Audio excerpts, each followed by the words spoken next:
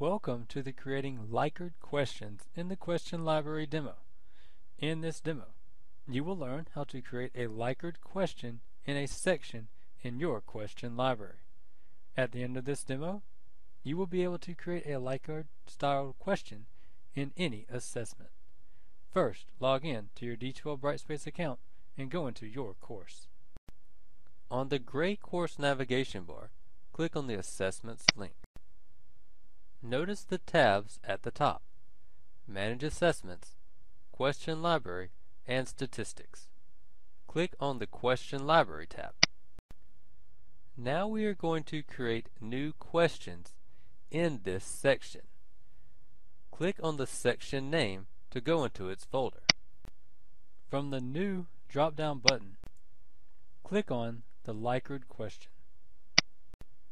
You can leave the title of the question blank. Doing so will make the question text show up as the title. Click in the Introductory Text field and enter in your question.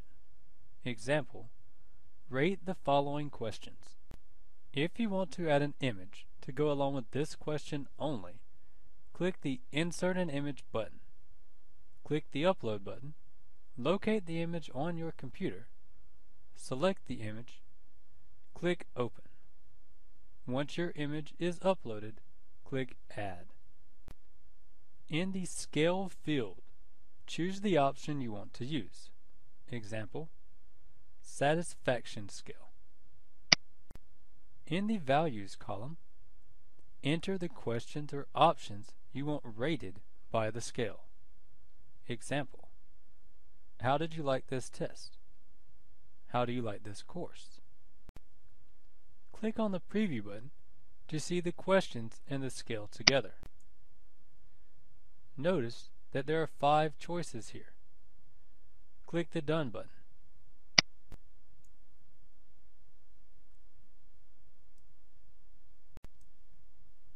Click Include an NA option. Click Preview button again.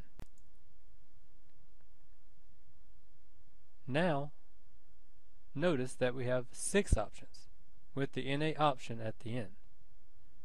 Click the Done button. Click on a different scale, such as the Importance scale. Click the Preview button. Notice that the questions stay the same, but the column titles have changed click the Done button. If you want to create another question very similar to this one, click on the Save and Copy button. That will save this question and create another one with all of this question's information so that you can just edit this question's information instead of retyping it.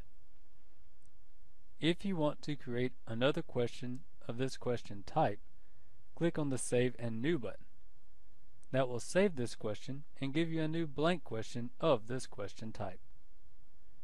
When you are finished making changes, click on the Save button in the bottom corner and you will return to your list of questions.